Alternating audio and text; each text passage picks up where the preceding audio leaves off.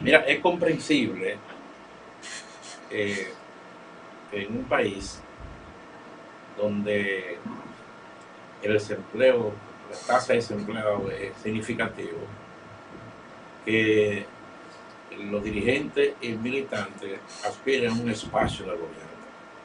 En la mayoría de los casos, los espacios son eh, para resolver problemas fundamentales de alimentación. La mayoría de las veces, eh, sin embargo, hay que decir que el, el, PLD eh, se, se encargó de hacer normativas que limitan significativamente el, el, el, en el gobierno.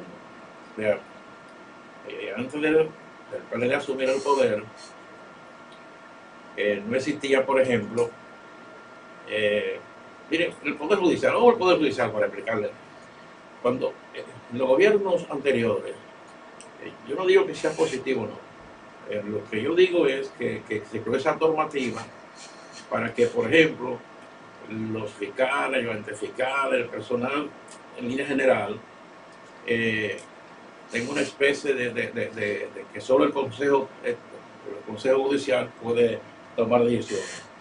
Ahora, si esa, si esa normativa a la hora de, de, aprobarse y ejecutarse se hubiera hecho en consonancia con los demás partidos políticos y con la clase civil organizada, nosotros dijéramos que, tenemos, eh, que, las decisiones fueron correctas. Pero, la, lo que ocurre es que lo que se aprovechan son normativas para que para llevar militantes y dirigentes del Partido de la Nación Dominicana al tren judicial, que hoy están ahí protegidos. Entonces, esa es una limitante que tiene otra limitante es que la ley de carrera administrativa protege, porque ¿y, quién, ¿y quiénes son los que llevan a la carrera? Son los funcionarios, a la carrera administrativa. Entonces, eso también limita mucho el gobierno. Y finalmente el tema de la prestación. Yo creo mucho en las prestaciones.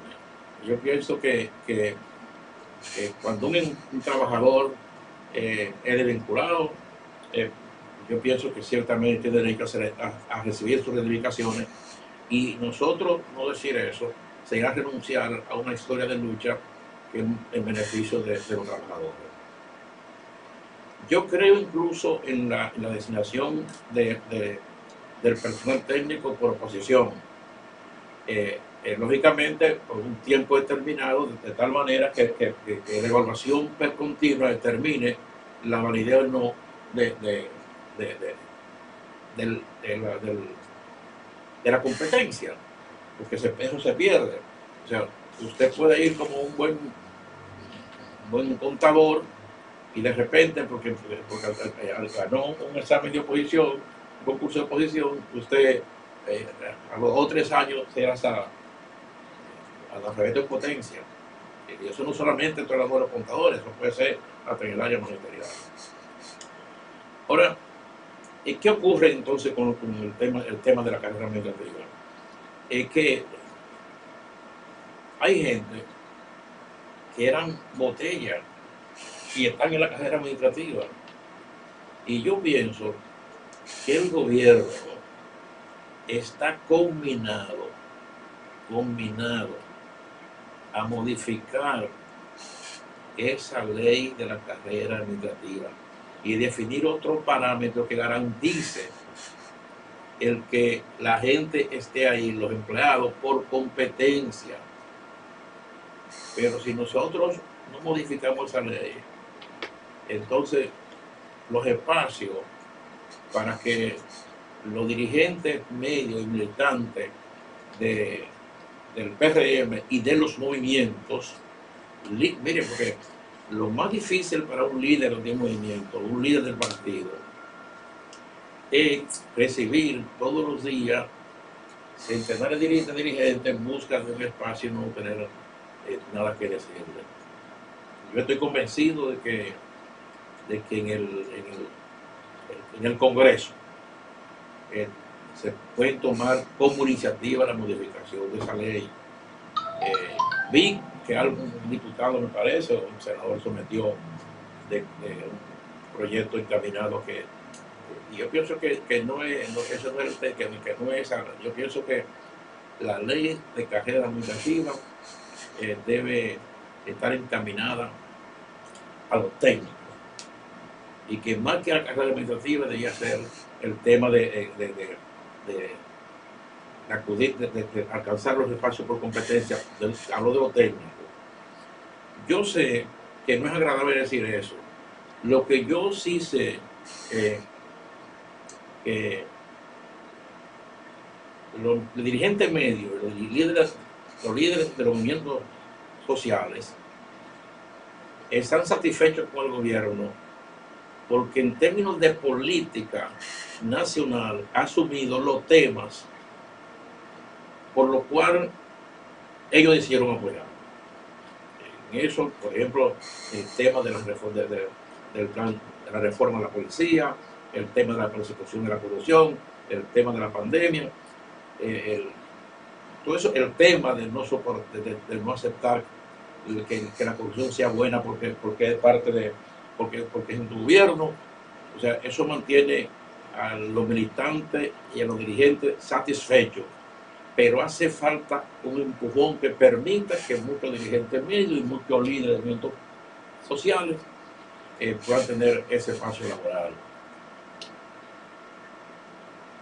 Y no es, vuelvo y digo, que nosotros pensemos que, que, que, la mierda del poder, ni que es un montón. No, ese es el tema. Para, para, para, para un dirigente médico, la mierda del poder es poder cobrar 10 eh, mil pesos de un crédito y poder resolver el problema de esos casos. Eh, para un el dirigente es, que, es que, que, gane 20 mil pesos y que con esos 20 mil deja 10 mil en su casa y los otros 10 comienza a distribuirlo entre los compañeros que lo apoyaron en todo ese proceso. Eso mantener liderazgo, sobre todo en un momento en que la propia pandemia ha disminuido las posibilidades de empleo. Yo quiero tocarlo así, eh, entendiendo que, el gobierno en términos de, empleo no es del tamaño que, que, que, el, fue el gobierno del PLD que fue otro gobierno, pero que podemos tener iniciativas para paliar esas necesidades fundamentales que tienen los movimientos de los de acudir a los espacios ¿Y no recibe usted muchas llamadas eh, de, de, presidentes de movimientos preocupados? Y bueno, yo manejo la llamada, la manejo mejor que no lo estoy viendo. Lo difícil es, lo difícil es cómo se aparecen en la finca, o se aparecen en la casa, o se aparecen en cualquier lugar que uno esté. Sí, la presión es, muy fuerte, la presión es muy difícil. Pero vuelvo y digo, con, con el nivel de conciencia de que lo necesitan, pero sin vaciar un, un solo momento del apoyo de gobierno del campo del, del del cual se, sienten satisfechos. Muy bien. No, y que los movimientos han creído bastante en Aníbal García, Duvergey. Porque eh, cuando se convoca cualquier reunión para debatir cualquier tema, ahí están todos los movimientos presentes. Pero si no hubiera un vinculante entre el apoyo que le dan al gobierno eh, si yo lo convoco no va. Eh, van fundamentalmente porque están en gran medida eh, satisfechos, conformes, que aún sin el empleo entienden que nos fortalecemos, que fortalecemos la democracia. Y que, y que, que tienen esperanza en el, en el porvenir de ese espacio, que solo es cuestión de tiempo para que eso ocurra es porque ellos han creído en Aníbal. Muy bien. Bueno, pues miren, vamos a otro corte más ya y cuando retornemos vamos al último tema y vamos a dejar un, un espacio libre de dos o tres minutos para cualquier tipo de pregunta que ustedes quieran eh, realizar al profesor, pero ahora vamos a un corte. Adelante. strong.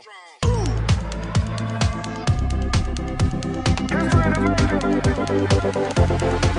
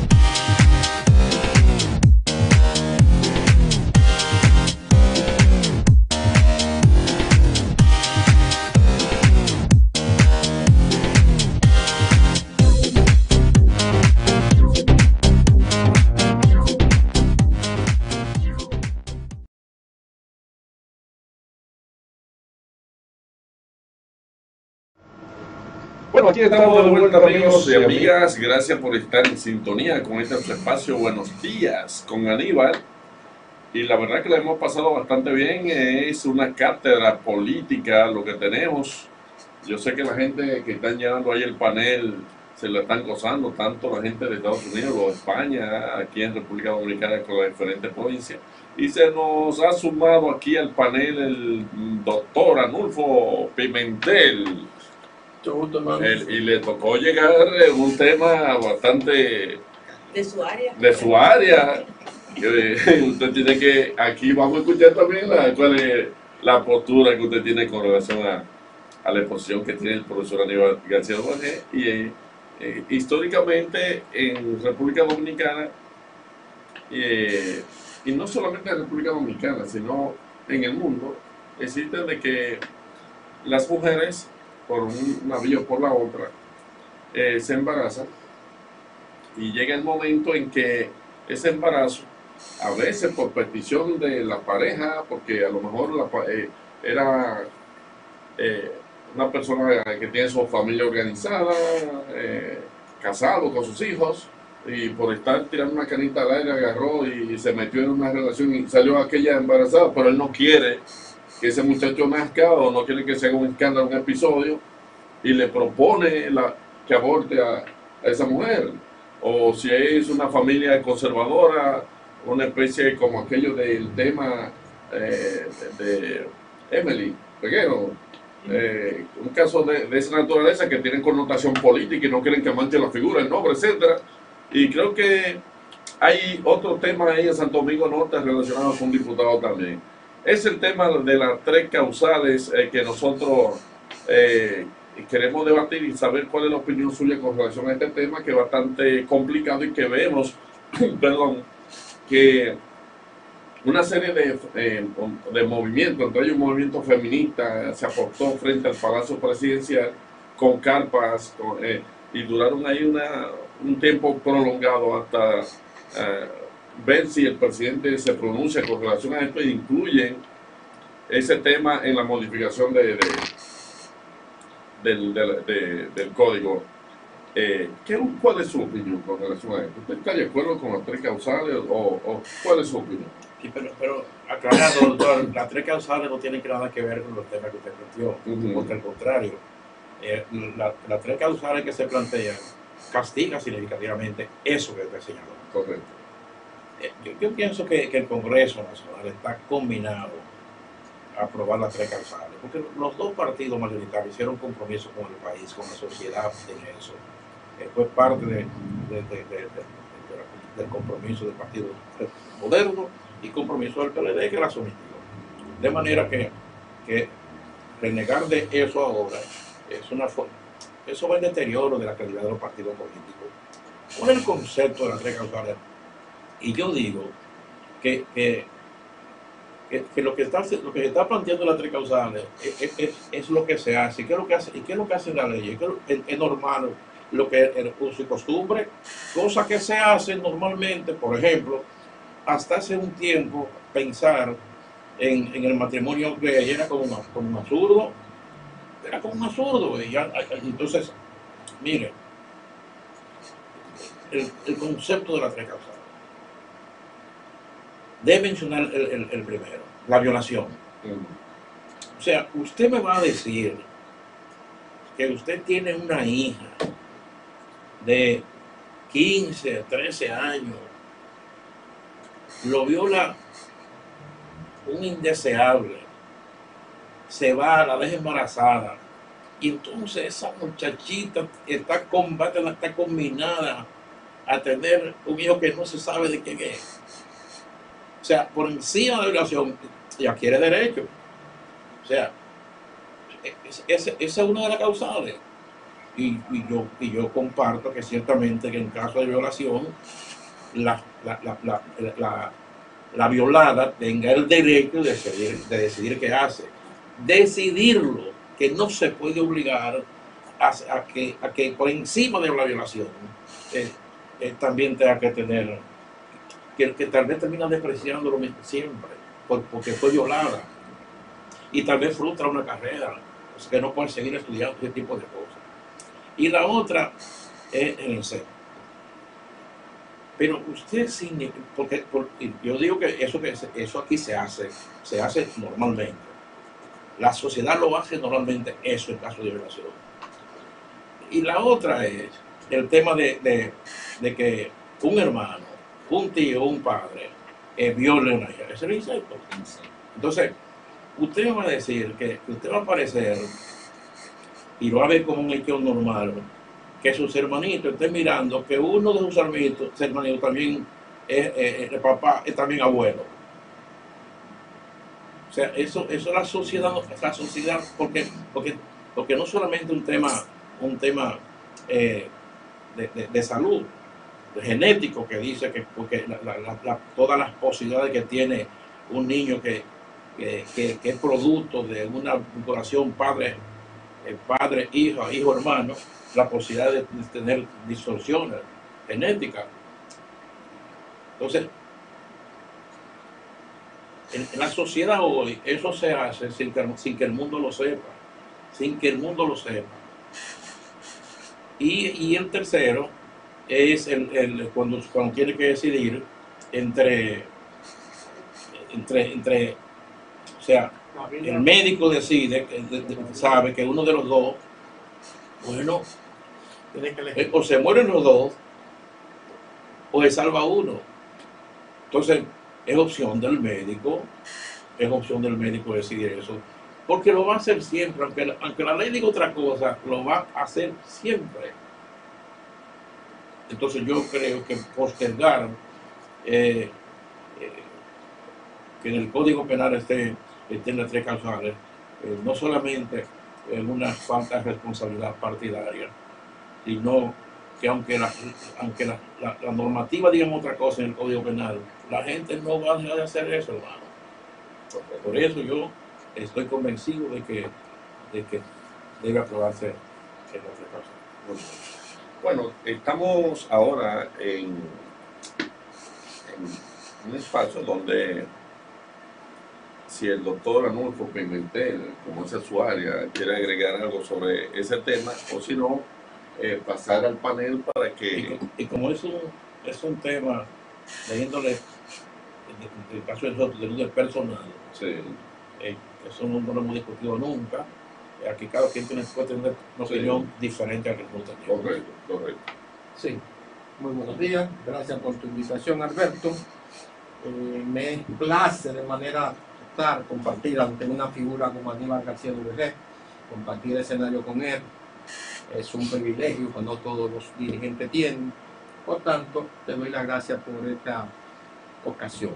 Mira, lo primero que, que hay que hablar de las tres causales es que la constitución prohíbe y todo lo que está en contra de la constitución, por tanto, primero hay que modificar la constitución para luego aprobar las tres causales que dicho sea de paso, estoy de acuerdo con el líder máximo, Aníbal García en virtud de que el mismo colegio médico, Juan Ariel Suero, y toda la estructura del colegio médico están abogando por las tres causales.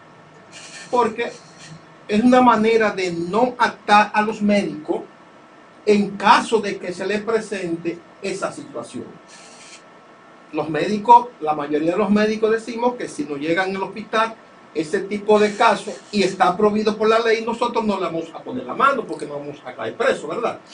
Entonces, por eso el colegio médico en este momento está abogando a todo pulmón las tres causales.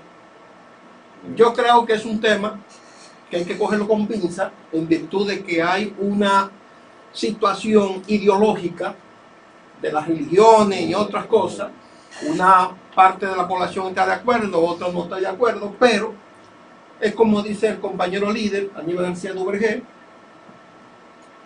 es un concepto personal de cada quien. Profesor, y haya ley, ley o no haya ley, ¿no seguirán los ciudadanos y las ciudadanas incurriendo en la práctica? Estando regida o no. Estando regida o no. Es decir, que, que esto es más bien un tema de eh, publicidad, porque en el fondo, no, en el fondo no, seguirá en los campos, en los pueblos, la gente en los campos haciendo, buscando el brevado. No, Alberto, mira lo que pasa, mira. Estamos hablando de, de menores de edad que, ca- que caen en esa situación. Una persona, una mujer que es mayor de edad y se embarace porque quiere. ¿Entendiste? Todo aquel que tiene una relación sexual se- y es mayor de edad y la está haciendo tiene la posibilidad de embarazarse. Sí. En ese caso, que es el caso que tú pusiste en principio, nosotros no estamos de acuerdo. O sea, el que no quiere tener hijos, que lo viste. Porque hay un sinnúmero, recuérdate tú, y recuérdase la sala acá, que la patilla anticonceptiva anteriormente, la Iglesia Católica fue la primera que se opuso a que ese método se utilizara. Sin embargo, al final lo aceptaron, ¿verdad? Como bueno y válido. Entonces, si hay tantos métodos para tú evitar un embarazo, ¿por qué tú, si sale embarazada, una persona adulta, ya totalmente con calidad para decidir, tú decides por lo que la ley prohíbe, entonces tú pagarás las consecuencias. Muy bien. Bueno, pero paso entonces al panel a saludar, a, agradecerle a la gente que se han conectado desde temprano a la mañana a darle seguimiento a la intervención, a la participación del profesor que todos los miércoles a las 10 de la mañana estará con esta tertulia aquí acompañado de un equipo de hombres y mujeres y todavía llegando más. Jamie. Bien, eh, de verdad nosotros nos sentimos muy agradecidos de que los compañeros a nivel nacional han estado muy atentos a las sabias orientaciones en los diversos temas que se han tratado hoy para poder estar informados de la situación social y política nuestra. Pues agradecemos a Ruber desde Barahona, agradecemos a Linojapa de Santo Domingo, agradecemos a Betania, entre otros tantos líderes, a, Dora de San Cristóbal, San Cristóbal, la cuna del líder aquí, Aníbal Duvergé, están todos ahí como un toque de queda. De verdad que siempre vamos a estar agradecidos de que ustedes puedan estar atentos al líder y cada miércoles a las 10 de la mañana estaremos aquí con ustedes. Qué bien. Profesor, el, eh, el turno es suyo para usted despedir esta tertulia. Bueno, agradecido de, del espacio que, que nos concede, eh, agradecido del apoyo que nos han dado en todo este proceso los líderes de movimientos sociales, eh, que no han vacilado nunca ni en el fortalecimiento y crecimiento de la red de movimiento, ni en el apoyo a la gestión de gobierno del presidente.